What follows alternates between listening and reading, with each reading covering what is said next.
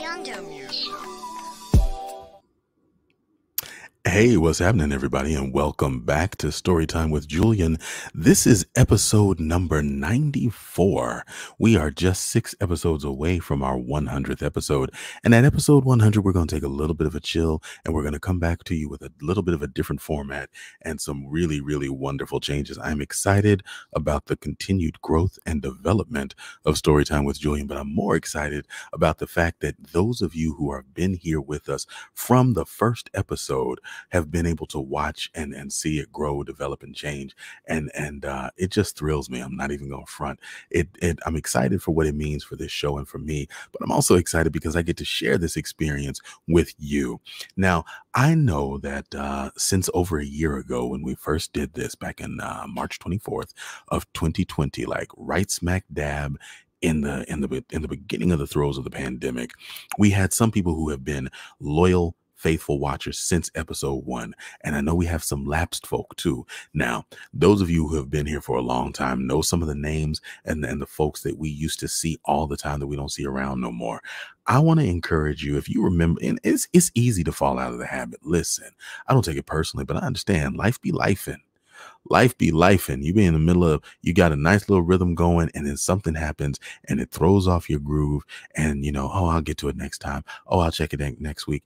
And then the thing that used to be the thing that you always do kind of turns into oh man i forgot i used to do that. If you know somebody who falls under the category of the lapsed maybe give them a little reminder right now. Here's what you could do. If you were so inclined here's what you can do. You could share if you're on if you're watching this on Facebook, you could share this directly onto your page so that the people who like you could be they could see what you like. What what what's she watching? What are you watching on that side? Now, if you're watching it on YouTube like you're supposed to be, you can go ahead and you can copy the link to this channel. You can post that in your social media places. You can make sure that the people who you know would love to hear some good black lit read by one of the best to ever do it that's me. I'm one of the best to ever do it. You could go ahead and make sure that they have an opportunity to enjoy what you enjoy by sharing what I share with you. Go ahead and copy and paste that link to your social media. Take a minute to do it now. Take another minute and invite somebody that you have not invited. Oh shoot, I did get the I got the numbering wrong. So I've got to go back and change it. That's right. This is episode number 95. We are 5 episodes down. Ah, oh, wow. Wow. Wow. I had to give it the full Owen Wilson. Wow. Anyway, check it out. This is what we can do. This is what you can do to help us build. Now, I also want to encourage you while we're talking about making sure that you subscribe on YouTube and like. I know that some of you all are a little bit confused because I tell you, hey, we got a grab bag. It's going to have some amazing books in it. Some of them are autographed. It's going to be at least, it's, it's legit a at right now currently the current value of it is at least $300 i know that. Now the the now eh, not that you're gonna resell the books it's books. Y'all love books. Hold on to and read and enjoy. But i told you you got to like subscribe and you got to make sure that you comment on the episode. And i think that most of you are commenting in the chat thread thinking that's what the comment in the episode means. Uh-uh. no I need you to comment on the actual episode itself, like on the on the actual channel part, not the thing on the side, but in the actual channel comments. I need you to comment. This thing on the side that y'all doing, that's the chat. That's fine. You can chat all day. But what's going to be read for the for the contest for the giveaway of the story time with Julian Lit bag is going to be the comments. Those are what count as entries. Incidentally, speaking of entries, Latricia Ransom was the only person who was not an admin or affiliated with Storytime directly to complete the task. And so she has won the copy of Dark Matter Reading the Bones. That's going to be mailed out to her at the top of next week. So everybody give it up to Latricia Ransom. She was our winner. And Lock Dreamer just asked what happened to the giveaway. So that's what happened to the giveaway. I went through, un, uh, unless I missed something, I saw Latricia. I didn't see nobody else tag Storytime in a comment about the uh, uh, in a comment about the stories from the from the last two weeks. So to be clear, I see some questions going on. Let me get uh, to Erica's question. So we need to watch the video after it goes live to comment in the video right. That is correct. Yes, B. Benny in the house says, I think so, Erica. Yes, that is correct. Now, let me make sure that I am greeting everybody that's here. I saw the L Jack was here. That's the Lock Dreamer in full effect. Who else we got? We got Angel Monique Melanin Monroe. We got Erica Goodman. Lou Homie. That's Homie Lou. She's back. She done chefing. She back to listen with us. That's what's up. We've got Neptia 07. Who else do we have here? I saw some other names. Kelly Ruff, old friend of mine from back in the day, is here again. I love it when we see you come through. Angela Rains, always there, loyal and faithful. Judy Lee, same, always good to see you. We see Kamisha Umstead is in the building. I was wondering, I didn't see that little hand wave at the top of the stream. I was like, maybe she's not coming today. And we already said that we uh that we have Latricia here as Olivin Boo and Kitty Foxy is here. And uh, let's see, who else did I say? Who else did I see? Miss Ebony Martin is in the place, and Benny B is in the house. And that's what's up. That's what's up. That's what we got. And I encourage you, each of you, invite a friend, invite a few friends.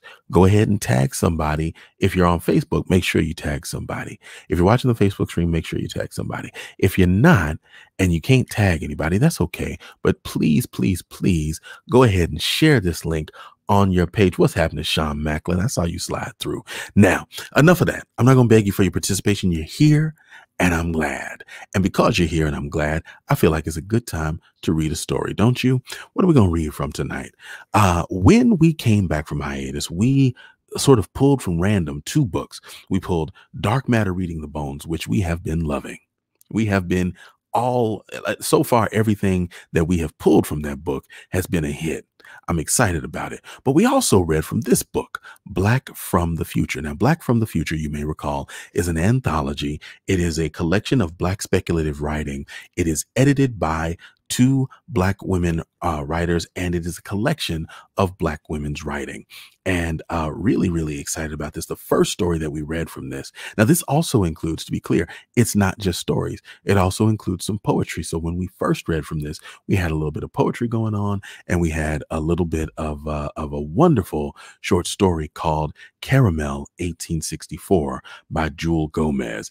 And uh, I know that spoke to a lot of y'all. Some of you big fans of vampires really enjoyed that. Go ahead, check that out. If you didn't get a chance to see it, was that a spoiler? A little bit. Is it going to ruin the experience of the story for you? Not at all not at all fantastically beautifully written story um a lot of wonderful beats, a lot of wonderful intimacy, a lot of wonderful historical reference without it being uh, too traumatic.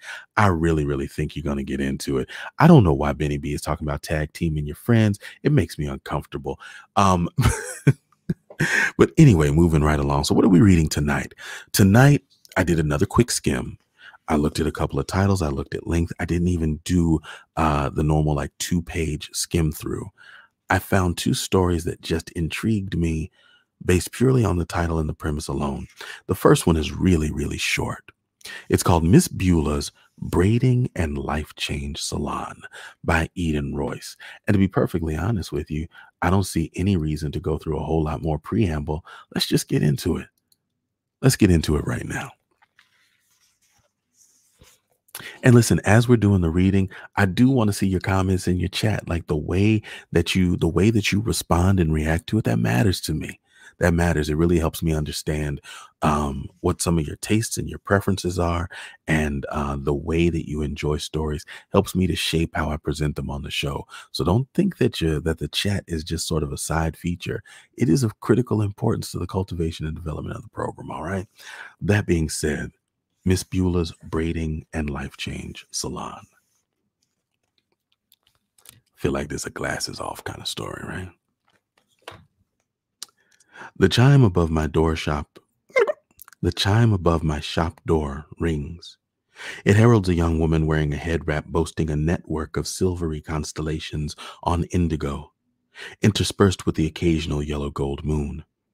The wrap itself is made of silk, not the finest grade, mind you, but sufficient to conceal what she must see as a fault. None of her hair is visible, but the contorted celestial body show the fabric is at the end of its tether. Her gaze flicks around, lighting on every little thing in the salon, then leaping away to the next. From the incense cone on the windowsill, emitting apple and lily scented curls of smoke, to the crisp white sailcloth curtains snapping sharp in front of the open window, then to the merry fine merry fire burning in the iron stove across from me that consumes all it is fed without giving off heat. Finally, her weary, heavy lidded eyes settle on me. I do not get up. We jinn do not like to move much, especially while in our solid forms. But I smile and the motion to styling chair in the front of me. She stares at me for a short while, and while she does, I can hear her mind clicking like some clockwork toy, trying to make sense of what she sees. Her eyes get wider as they take me in, lightening the dark rings under them for a moment. But she doesn't run. She doesn't scream. A good sign for a first time client. After a deep breath, she walks in with bird like steps from the front door across the gleaming tiles and sits in my chair. She removes her head wrap with care, releasing her hair from its prison before folding the cloth into thirds and picking at a stray thread. Her gaze stays firmly in her lap, and I know her struggle. This poor thing takes a lot of time to try and keep this head of hair, but it resists her most valiant efforts. Every strand, every coil is a blessing and a curse. Each lock must be cared for tenderly, not touched by brush, but eased apart with the wide teeth of an oil soaked wooden comb and the caress of pomade laced fingers, searching out each tangle and coaxing it free. What you getting today? While I have an idea what she wants, I always ask. New clients tend to be nervous and get more wary when I seem to know too much. And even I am not right all of the time. I lost my job, Miss Beulah. Her voice is a whisper of shame, and her head tries to dip lower, but I lift it gently with my fingers under her chin. That ain't always a bad thing, you know, doll. I can never remember all their names, don't even ask anymore. I used to try, thinking it made them feel better, but I realize they don't much care what I call them. I know how to do their hair. I know how to design their dreams. And that is enough. She chokes back sobs, swallows hard before speaking. I can't make it without a job. And it's not just me. I have a son. You want it back or you want another job? Any soul can see that isn't her real trouble. Her pain is larger, deeper, born of powerlessness and fear. It is a pain that doesn't leave even in the midst of sleep what little of it she is getting lately. Sad to say, if the return of her job is all she can ask for, then that is all I can give her. I am bound by the laws of my people as much as she is by hers. She takes a while to think about this, and I run my fingers over and through her hair, massaging her scalp and her neck and shoulders until she slumps back in my chair. Whatever you think is best, she sighs. Her hair, a coarse, dusty brown, is dry and thinning, but her scalp is clean, free of dandruff and residue. She did what I asked and washed her hair before she came. The sharp scents of peppermint and sulfur cling to it, and I wrinkle my nose. As my fingers tumble through her tresses, I see she had worked hard at that job tried to be what they wanted, but she had been fighting a losing battle. They had other plans from the start, and she was filling a space until they found the one they really wanted. But I also see the reason for her appointment. While I work the tangles from her coils, I smooth her hair back from her high forehead. It barely touches her chin. Her ends are even, clipped neat. You cut it? It comes out sharp, an accusation, and she responds as such. The, the other woman who was doing my hair said it needed a trim. Her voice is defensive, a shield against further hurt. Split raggedy ends and all. Split raggedy ends and all. Even some of the videos online say to get your ends trimmed to help it grow. Glad she can't see my mouth as it twists. I return the soothing tone to my voice. And it worked for you? No, not really. Well, you here now. I turn the swivel chair to the mirror. Gonna be all right. Her eyes hold nervousness, flickers of fear, and a fragile hope. Under my fingers, her scalp feels feverish, damp. I smile to reassure her. You need to choose, I say. If you keep this style, you get your job back, but no more. And I will go back to like, and all will go back to like before. That what you want? Ask me, child. That is the only way to get what you truly want. A little of it, anyway. She trembles under my stroking fingers. No, she murmurs, only just louder than the crackle of fire. Soon I see tears on her cheeks, her neck. I feel their heat as they tumble, slide, drip from her chin onto the fabric cape I fastened around her neck. Then what? I speak soft, tender, like to a fearful creature, and that she is. You told me what happened to you not what you want. She heaves the words through thickened breathing.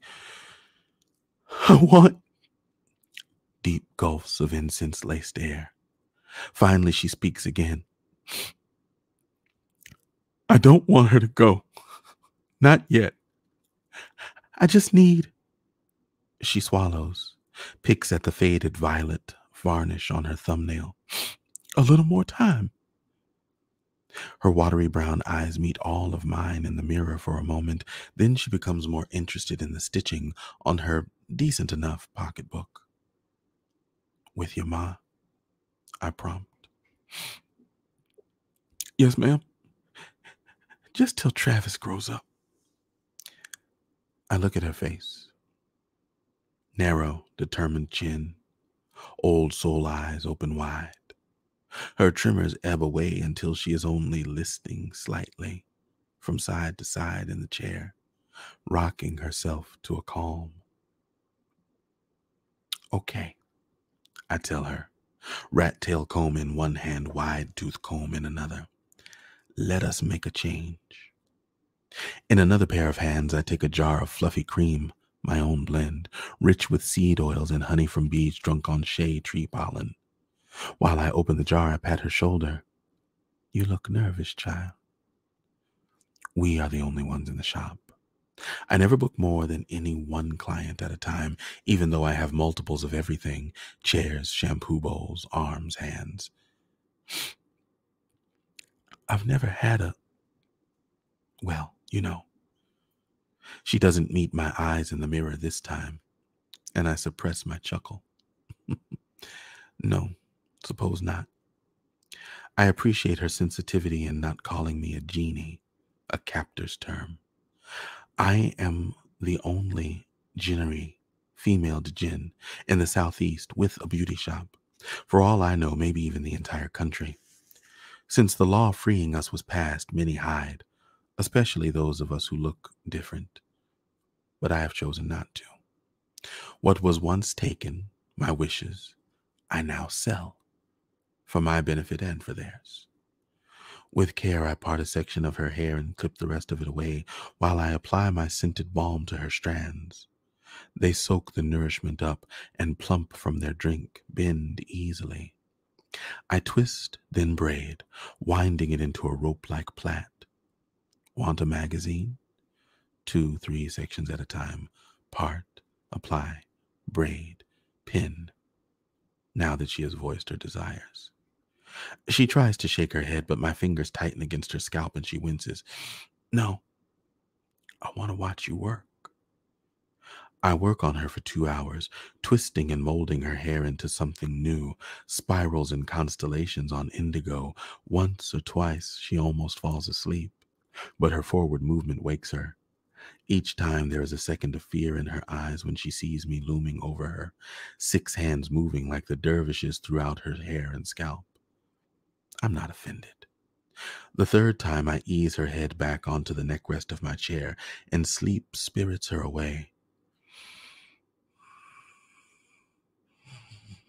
She snores softly with a light wheeze. Trilling music sounds muffled, distant. She stirs, sits up, fumbles in her bag, puts a phone into her ear. I pretend to only hear one side of the conversation. This is Tina. Yes? She is? Oh, thank God. No, no, I'll be there. Thank you. Bye. My work on her hair is finished before she replaces the phone. Good news. Tina nods. Our gazes lock again, and she gives me a hesitant, shaky smile.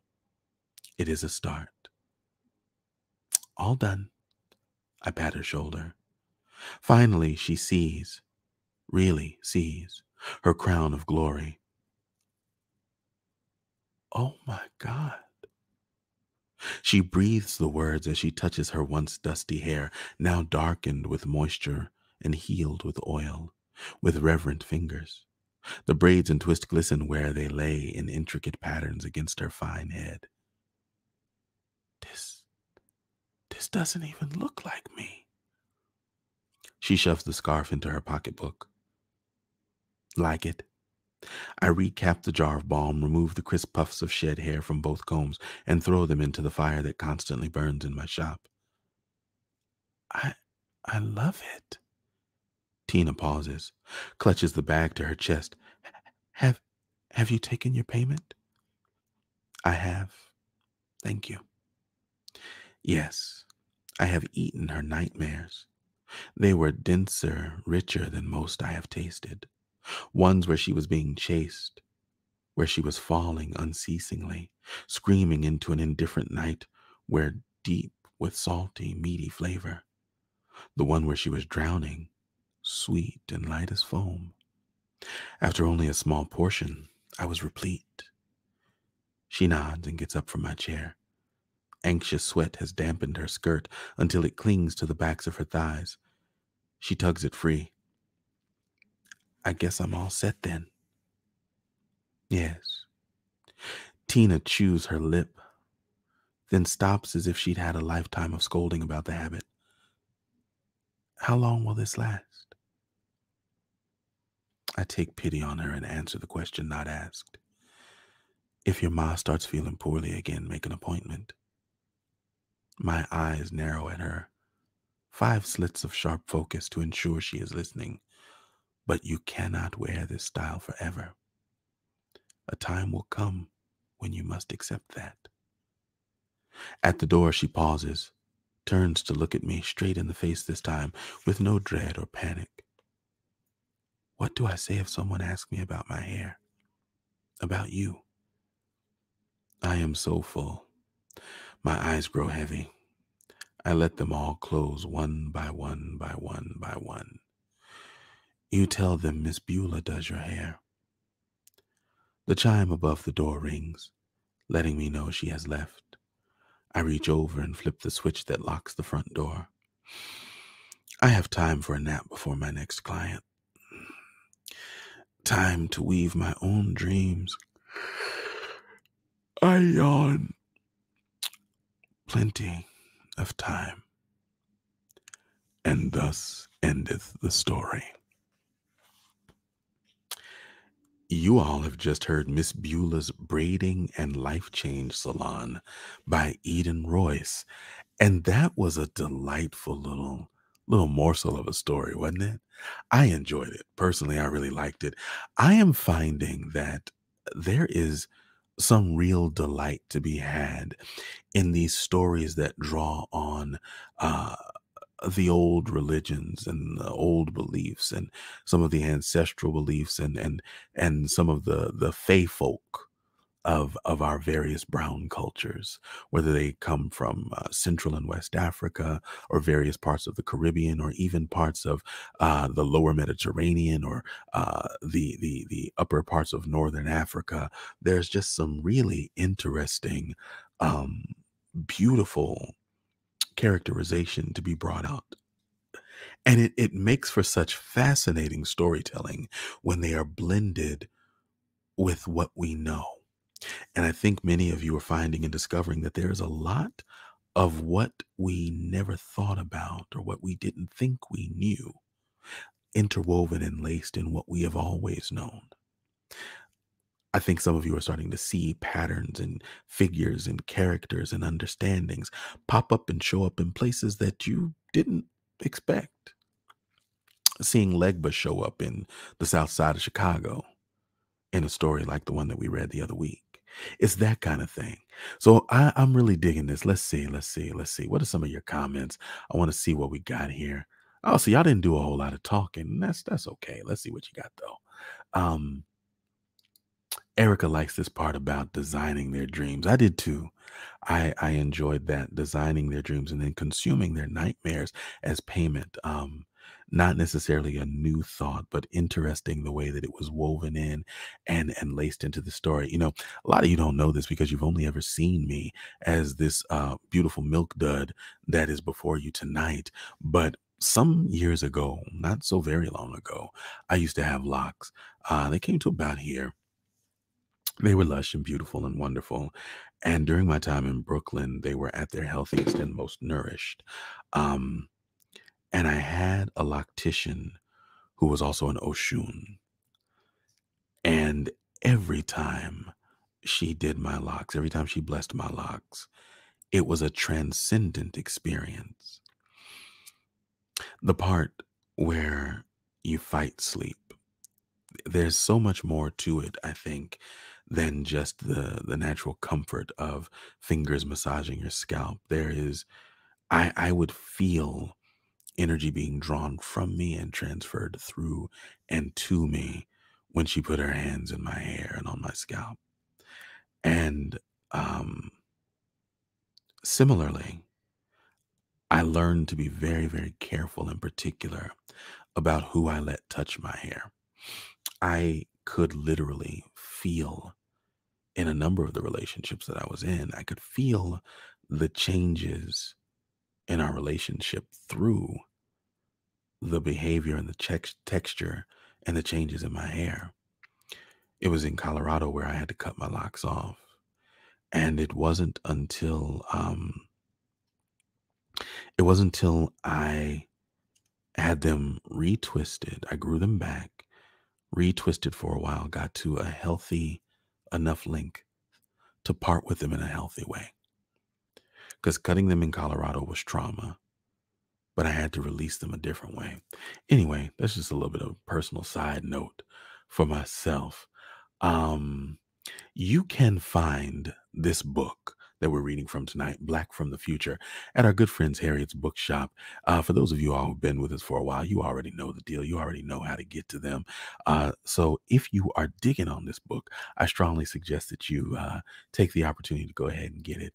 Uh, Melanie Monroe, like that line, I let my eyes close one by one by one by one.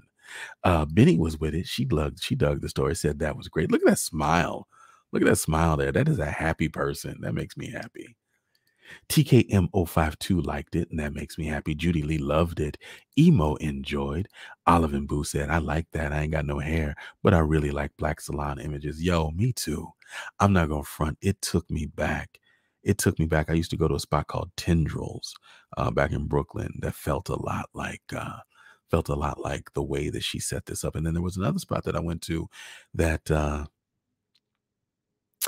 I wish in my 20s and 30s, I operated with the wisdom and the understanding that I have now because I realized that I crossed paths with some very interesting people who could see me, but I couldn't see them. Anyway, um, y'all ready for the next story? I feel like I am. Let's go ahead and switch up the banner for a minute this is going to be our next story. I'm just going to go ahead and let y'all get used to it. So I'm enjoying this Black from the Future book. I've so far I've enjoyed all the books that we've been pulling. I'm looking forward to getting into now. I'm enjoying these anthologies and collections because short story format is what Storytime with Julian was built around. However, um, we got a couple of novels that I am dying to dig into. And so we're going to be pulling excerpts from novels.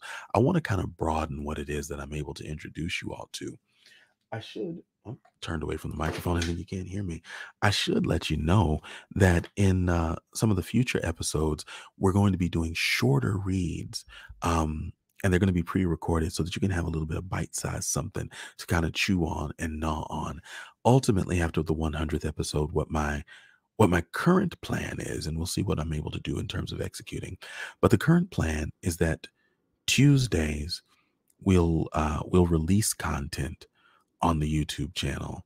Thursdays will be the night for the live read. So there'll be there'll still be content on both Tuesdays and Thursdays, but uh, we won't do live reads twice a week. I want to try and create more snackable, tradable content. Uh, right now, the reality is this experience is what it is for those of you who are here. And I don't want to sacrifice that and give that away. But it is difficult to ask people who are experiencing or stumbling upon us for the first time when they see the video and they're like, oh, it's an hour and 30 minute commitment on YouTube. I don't do that. And that's fair. That's fair. So we're going to create some more uh, smaller content, and I need as that smaller content rolls out. Please, ma'am, please, sir, I need y'all to share it, share it, share it, share it. Uh, but let's keep the party going with the next story. I want to see there's a couple of new comments here. Um, wow. Wow. I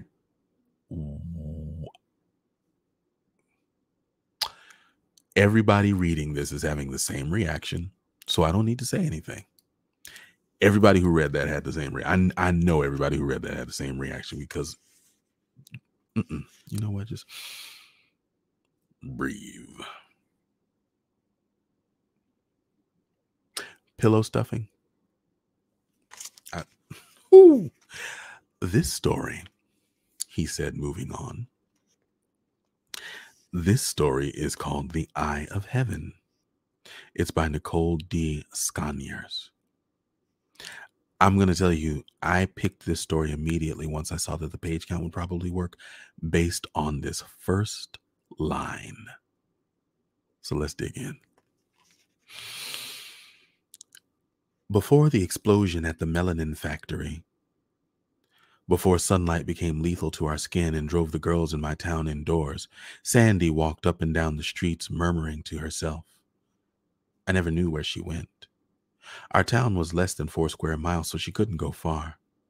We'd watch her back as she drifted past our row house, past the Masonic Lodge on the corner where men wore tall felt hats and spoke in guarded tones, past a field where boys played kickball in the summer until she was a blur. Sandy was about 25 then. Her smile, wide and sunny, was sane. Her hazel eyes were not. She kept her hair trimmed in a jagged fro. You could see where she, or, or someone, tried to tamp down those uneven tufts into some semblance of uniformity. In the winter, she wore velour sweatsuits, one beige, the other maroon. During summer, her muscular legs were clad in short shorts. After hours of roaming around in the sun, her skin grew very brown. Sandy never bothered anyone, so when people sat outside on their stoops chatting with their neighbors or playing their radio, and that lone figure floated by muttering in a language familiar only to her, they just nodded a greeting and kept on gossiping or listening to music. We tolerated her madness, a kindred alien.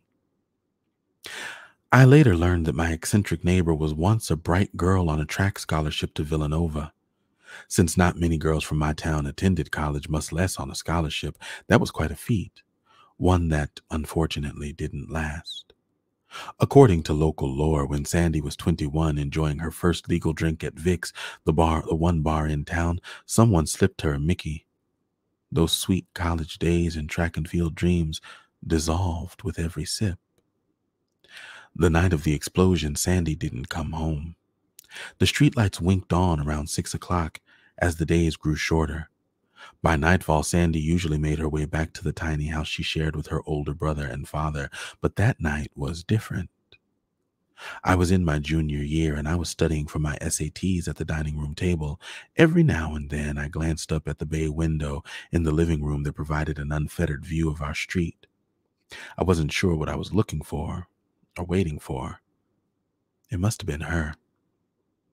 Mother was walk, working at the phone company, her second job, and wasn't due back home for several hours. My brother Raymond, two years older than I, was out hanging out with his friends. It was just a normal night in Wing, Pennsylvania. Nothing prophetic or ominous about the setting sun. But then a key turned in the lock, and my mother opened the front door, shaken. Big fire at the melanin factory, she said, removing her coat as she came in the door. Ash dotted her hair and smoke lingered on her clothes. They sent us home early. Fair Industries was a bottling plant about three miles from our house on the north side of town, across the railroad tracks. The company manufactured Youth Sap, an anti aging potion that came in innocuous oyster colored jars. The commercials featured smiling white women with creaseless skin and frozen eyes. Even if she could have afforded it, my mother never used that skincare system. She didn't need to. She was 41 then, and strangers were still mistaking her for me and Raymond's older sister. Black don't crack, we said with a knowing smirk that praised the seemingly ageless quality of our dark skin, impervious to wrinkles. After the blast, we learned that black not only cracks, it blisters and hurts. Are you okay? I asked, hugging my mother. The phone company where she worked was located in a strip mall adjacent to the factory. I'll be fine, she said. The tremor in her voice belied the words. Never seen anything like that before. The sky was all red, blood red, glass everywhere. It'll be on the news tonight. Later, we watched the news in our bed, our feet touching beneath the blanket. A grim reporter stood across the street from the burned out husk of the factory and informed us that more than 80 people were presumed dead and another 40 or so had been hospitalized. Who knew Boot beauty products could be so potent? As if reading my thoughts, Mom said, What the hell are they putting in those little jars? That night, my mother started coughing and dry hacking noise that kept her up until dawn. The next day she stayed home from her main job at R&R, a textile mill where she washed and dyed fabric. I worried about her working so much. I read that mill workers face a greater risk for asbestos exposure than cancer from the and cancer from the fibers used to produce the fabrics. That occupational hazard was a trivial thing compared to what we became in the aftermath of the factory blast. I stayed home that day as well, listless.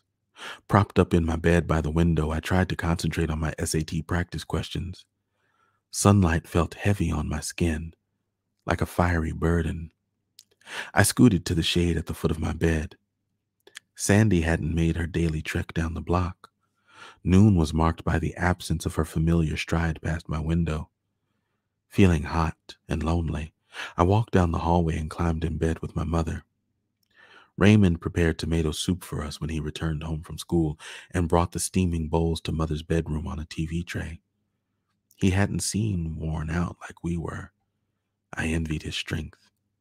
Once inseparable when we were younger, Raymond and I were at that age where we barely tolerated each other.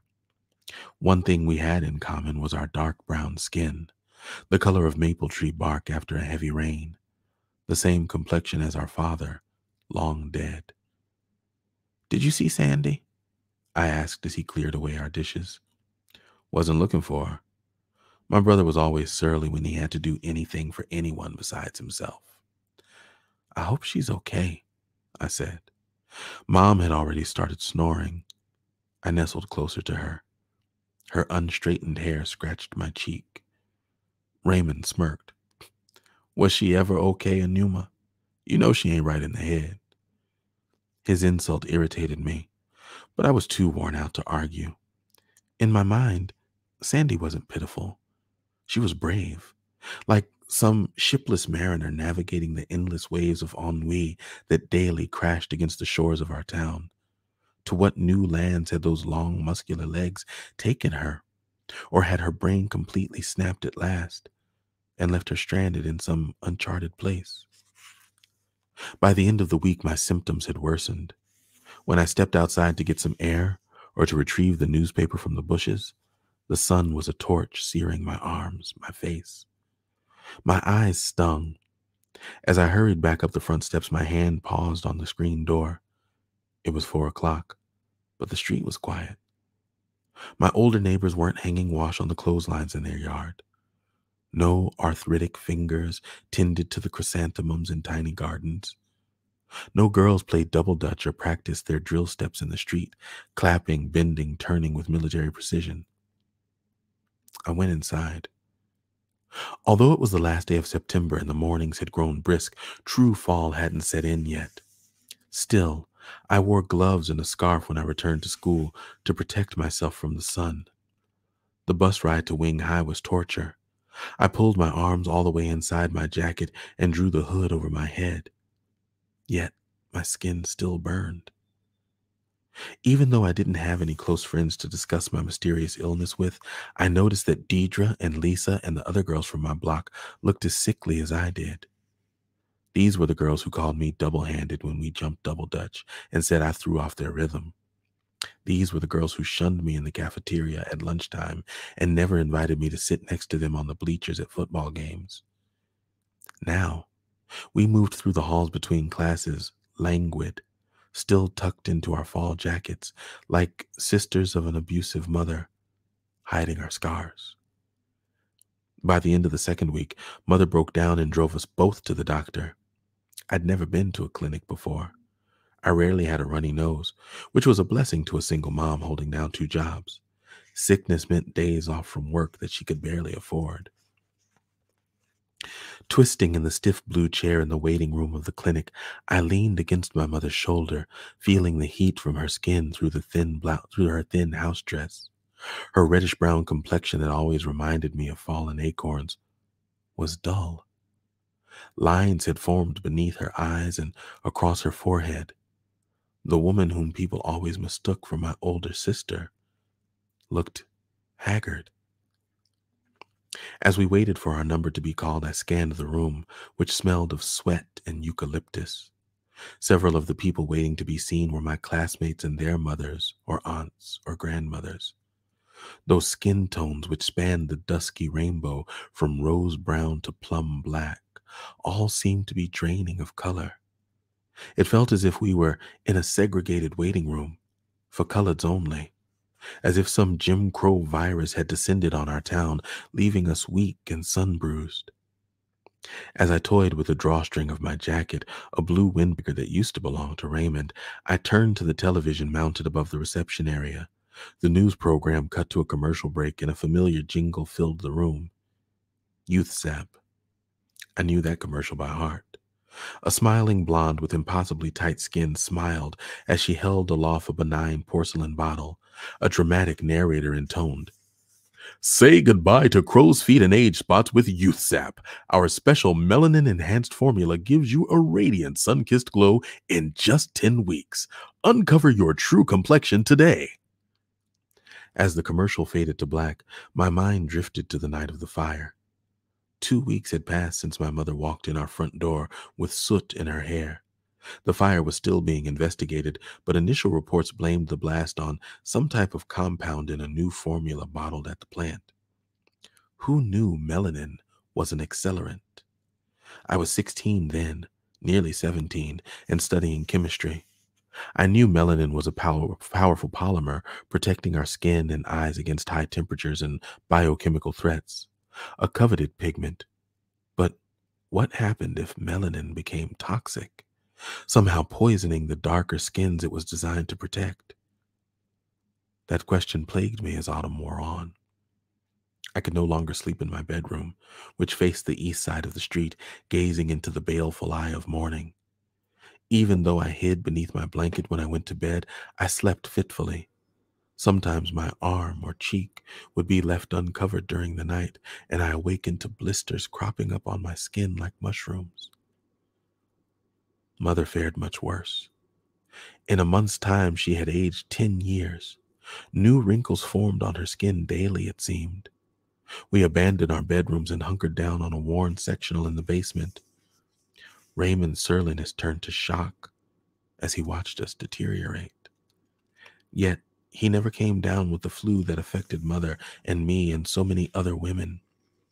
Our sun sickness grew so bad that my brother had to buy tarp and nail it above every window in our row house. Mother and I stumbled through the house through those small dark rooms like feeble vampires, too brittle to hunt for human blood. Sandy was still gone. She simply vanished, as if she had drifted into some Bermuda Triangle at the end of the block. It was possible that my addled neighbor had wandered nearly three miles to the outskirts of Wing, down to the bottling plant the night she disappeared.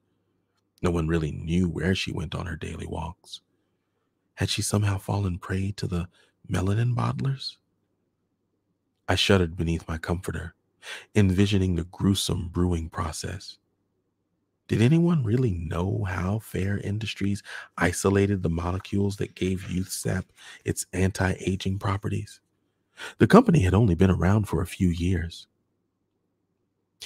Maybe they kidnapped black women and girls, threw them into a giant vat in the basement of the factory, boiled their skins, and extracted the pigment that way. It was a possibility. Wing was small, but I didn't know every black family that lived within those 44 blocks. Teen girls could vanish, assumed to be runaways. Single women could go missing, especially those considered not right in the head, unaccounted for, and unmourned. I toyed with my kitchen as I often did when I was nervous. Those gnarled strands at the nape of my neck were kinkier than usual. I didn't have the energy to comb my hair or wash it. Mother had woven my hair into two uneven French braids the day we went to the clinic. That was weeks ago, and I still hadn't untangled them.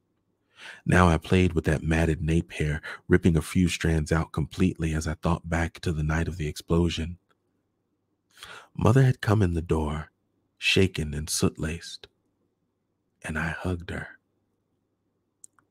Maybe the blast at the melanin factory had been radioactive. I mulled over the question that troubled me the entire sunless fall. Could melanin become toxic?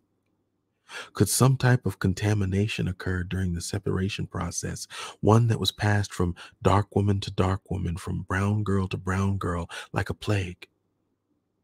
Maybe the night of the conflagration, a batch churning with the weight of its tainted mission exploded, and embers drifted up from the bowels of the factory up from the heat shattered jars of sap and out into the night air, where the breeze carried them south to our side of town.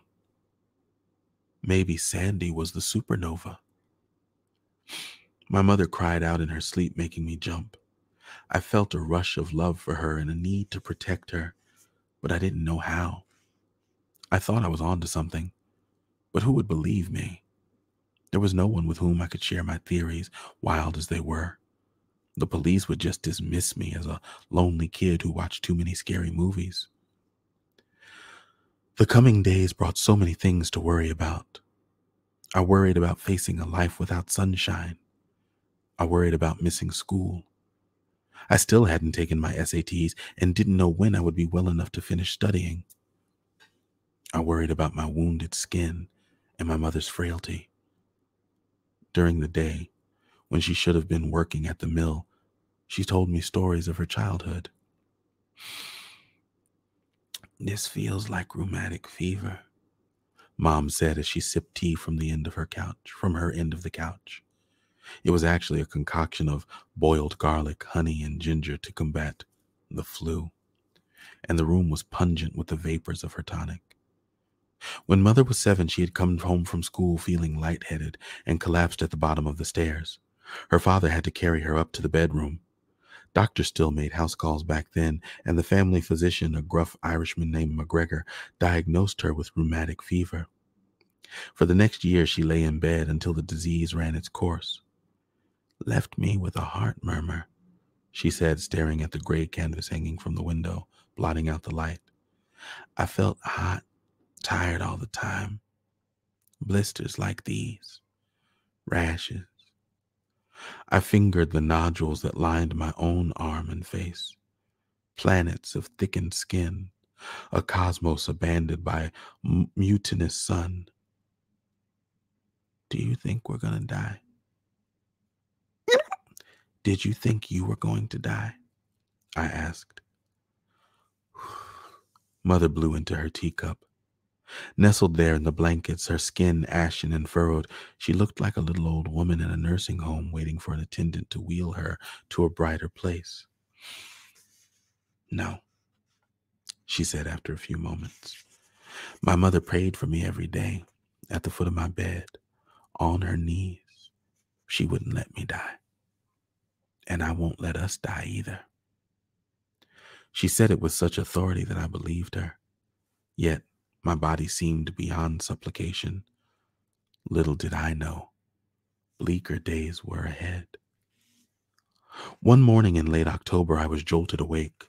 Dawn crept beneath the tarpaulin at the window like a dark rose, spilling wilted petals on the floor.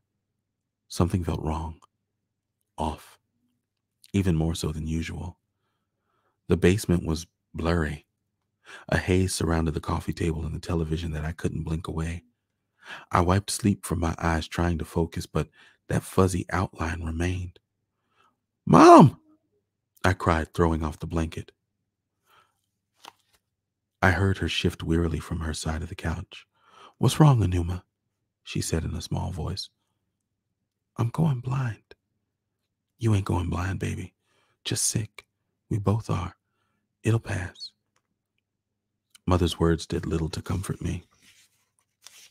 Maybe they were more to comfort herself. There was no money for an eye doctor. She'd lost her part time job at the phone company from missing so many days of work. Because she'd been employed at the textile mill for a dozen years, there was more security. But her sick leave was unpaid. There was no disability insurance for a prolonged fever that caused her skin, her skin to grow wrinkly. In the coming days, my vision waned and I lay in the blackness of the basement. I focused on sound the stoic plink of water in the sink next to the washing machine, the cawing of birds perched on the telephone wire, taunting us with their fearlessness and their song. What struck me most was the absence of rhythm, a communal cadence of folks laughing on stoops and little girls skipping, skipping hopscotch, their shoes thudding against the sidewalk as they leapt from chalky square to chalky square. If I focused on this sound with all my strength, could I convert it into light? Freshman year, I had watched Mr. Roth, my science teacher, perform an experiment with a transistor radio, a 9 volt battery, and a tiny roseate bulb, which was unlit. As he switched on the radio and the upbeat synth tinged sounds of psychedelic furs filled the room, Ghost in You, I think it was, he ran a cable from the radio to the wooden board contraption housing the tiny light bulb. A wavy, Ooh sounded through the science lab as my classmates and I watched as the di- diode flickered to life and gleamed with a fixed fuchsia brightness. Audio signals can be transmitted in radio waves through space and in electrical currents through wire, Mr. Roth explained with a satisfied smile. But not everything is as rosy as it seems, class.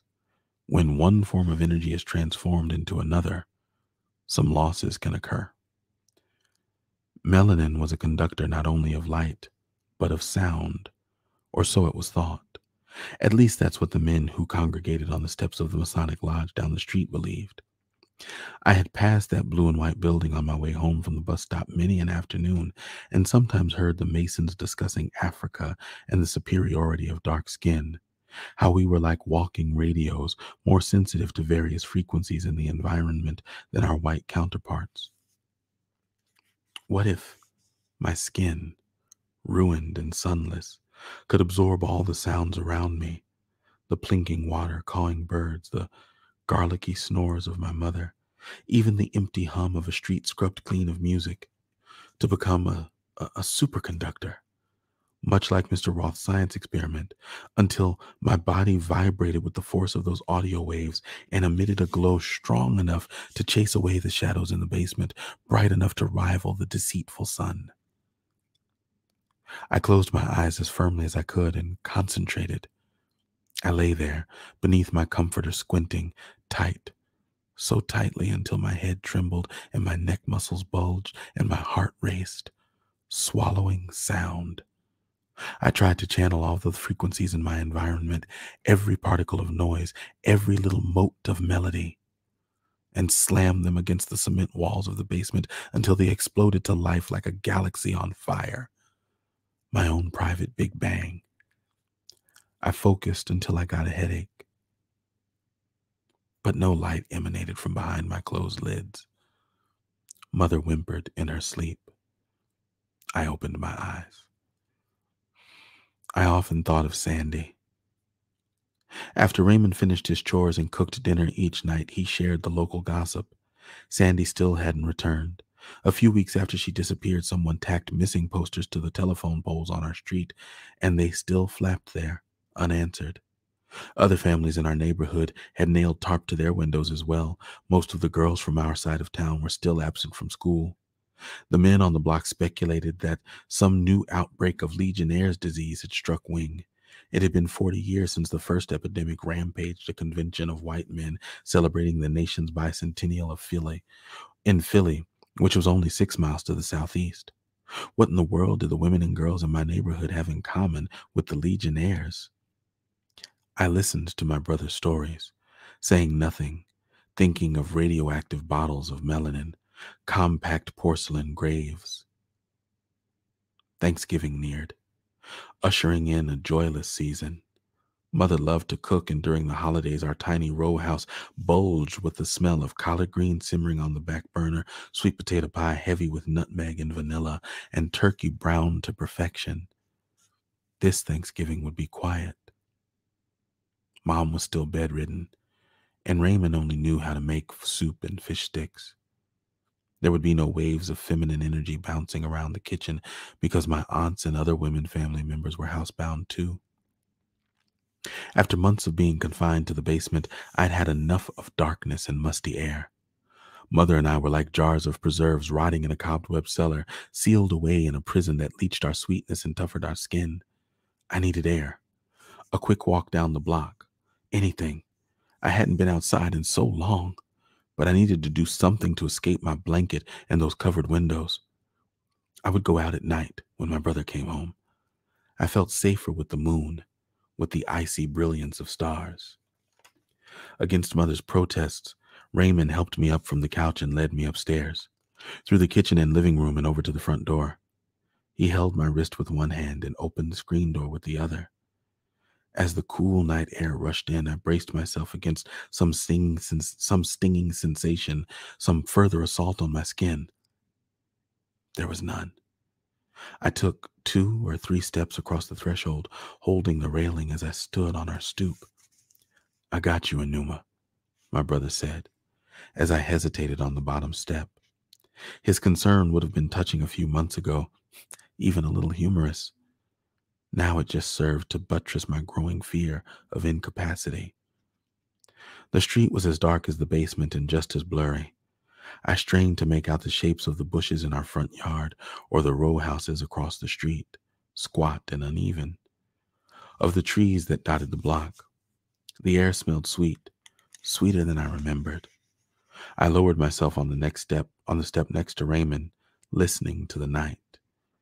As we sat in silence, I thought of the many nights Deidre and Lisa congregated on their stoops, blasting hip hop from radios as I sat near the open window of my bedroom, listening to Bruce Springsteen and Billy Joel, alone.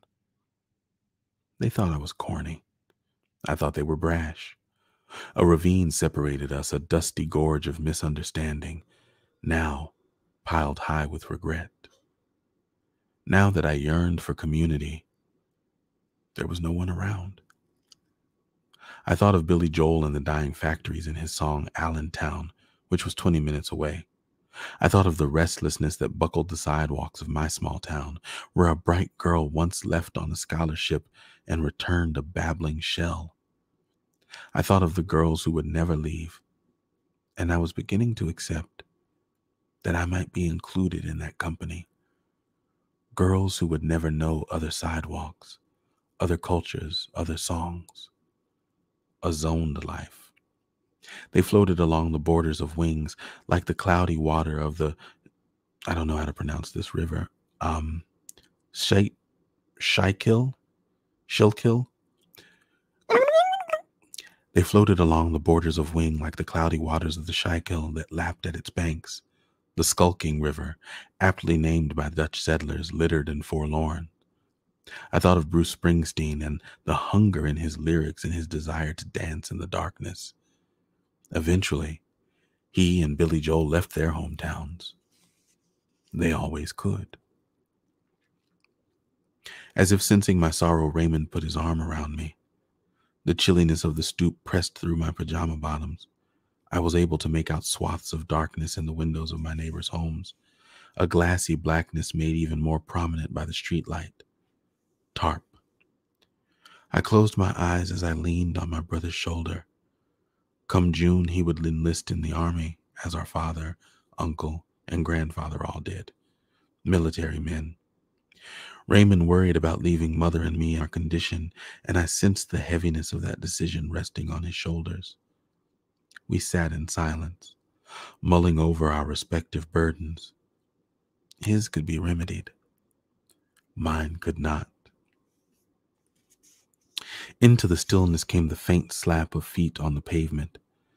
I sensed a brightness outside my closed lids, like the return of a contrite sun. The hell? Raymond pulled away from me as he hurried to his feet. I opened my eyes, reaching for his arm. He helped me stand. She moved down the block, down a sidewalk that knew her footfalls better than her father ever could, trapping them in the stone like a wayward heartbeat. Sandy. She was no longer the wrecked track star, pacing up and down the streets of our town wearing a raggedy fro and short shorts. Her movements were determined, sure, her hair was gone. She was naked, shimmering, no, glowing. As if she had stood beneath the fiery geyser from the explosion at the melanin factory until she absorbed all the embers, thick with a pigment both dreaded and beloved, until a sun pulsed beneath her stark skin. The very eye of heaven. I beheld her nakedness, marveling at her smooth head, the silky brown skin that gleamed with a dark luminosity, like a dying star whose light is barely discernible from earth, but with it with which its but which its own galaxy knows is both massive and divine. Where had she been? Why had she returned after being lost for so long?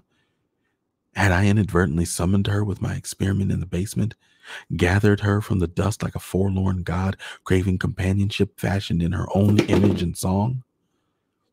Sandy headed toward her house in a sparkly shuffle, her newfound radiance competing with the street lamps. She was humming. She paused at the end of the walkway that connected our stoop to the sidewalk. Raymond grabbed my hand as if he feared some gravitational pull might yank me from the steps and over to her side. Sandy gazed at me as if seeing me for the first time. Her grin was wide and knowing. Come, she said. I shrugged off Raymond's hand and walked down the stoop. I didn't need my brother's help now. Even though the night was cool, the sidewalk felt warm beneath my bare feet as I headed toward Sandy. I didn't know if she was toxic, if my skin would bubble beneath her finger. But I did know that in a community of blistered, sun broken women, I needed her phosphorescence. I stood in front, she stood in front of me, pulsing, a firefly loosed at last from a jar. I followed her up the street. And thus endeth the story. So that story was The Eye of Heaven um, that was by hold on, that wasn't by Eden Royce. That was by Nicole D. Sconiers. Um, it was an interesting read. I have to say, I was I was fascinated by the premise overall. Um, for my tastes, I found that it left too much unexplained, and increasingly, I think I think one of the one of the beautiful things, but also one of the uh, possibly trying things about this format is we are exposed to so many different kinds of stories that come from so many different places creatively, and I think we've had our fair share of stories that are kind of creative for creative sake. Um, not that give us an array of beautiful dots, but don't connect the dots in a way that leave us with something. For me, that's how this story occurred. Lots of beautiful turns of phrase, lovely turns of phrase, a really uh, potent and interesting idea, some really interesting character building. We get this figure of Sandy, a woman with an interesting backstory, an interesting name. Um, but then a lot of questions a lot of questions. Um, I see Latricia as, as asking one actually right now. Why weren't black men affected? I have no idea. I don't know. Um, again, though, some of the beautiful language here. Uh, black not only cracks, it blisters and hurts. Powerful, potent line. It sets us up for what we know is to come. Um, you know, there's there's not really any foreshadowing here so much as you know teaser trailers. Like we, it's not even foreshadowing. It's it's a little too blatant for that. Um, but it doesn't it it, it doesn't quite give us what we're looking for. Um, I'm looking at the comments and it looks like some of you all were having buffering issues over on uh, YouTube, which is really, really unfortunate. So I'm really sorry you guys are having uh, connection issues.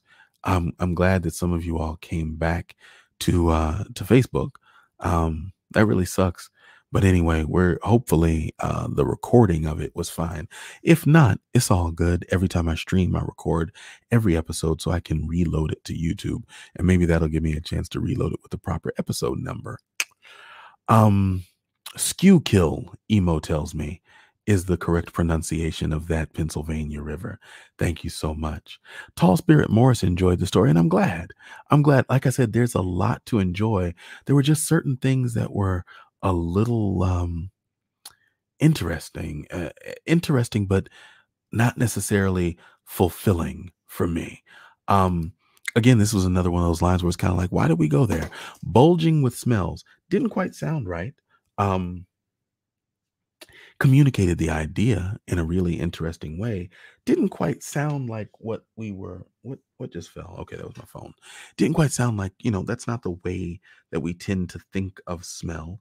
Um and and so it were there were certain turns of phrases like that that for me felt a little bit there's an expression that we learn in uh, journalist journalistic writing kill your darlings every time you write something that feels a little bit too good, a little bit too clever, a little cute, even, it probably needs to go. It's probably that little bit of extra, that flash that if you do a quick turn in the mirror, that you should take off the outfit. Some of the lines in this occurred for me that way. And again, it did. It left me with so many questions. Latricia says the future doesn't offer better health care. Got to get rid of this capitalism bullshit. Not sure exactly what that's in context to, but yes, agreed wholeheartedly, 100%. Um, Yell loves the story, and that's cool. That's good. Like I said, I, I, I actually I want to hear that. I want to see the comments. So if you guys disagree with me, um, if it if it if it hits you in the mouth differently and you absolutely love it, tell me about it. Um, I want to know. I want to hear. Um, but again, if you enjoy these books, they are uh, these stories that are coming out of this wonderful book, Black from the Future, a collection of speculative Black writer writing, you can find it at our friends over at Harriett's Bookshop. The link is right here. And since a lot of you are on Facebook, you could just go ahead and click that link right there in the chat. If you're still watching us on YouTube or on another one of the platforms, you can go ahead and um, uh, look it up. Just, you know, plop it into your address bar and you'll be able to find it. Go to bookshop.org forward slash books. And then uh, just, you know, you, you can read it. I don't need to call it out for you. Um, okay. Um, this is a little bit sudden. I have absolutely enjoyed the night, but um, I am I am heeding a call uh, from the next room, and uh, as much as I love this, that comes first. So, you guys, we're going to have to cut the broadcast a little bit early. My apologies. Love you much. Um, this has been Storytime with Julian. Take care. Peace.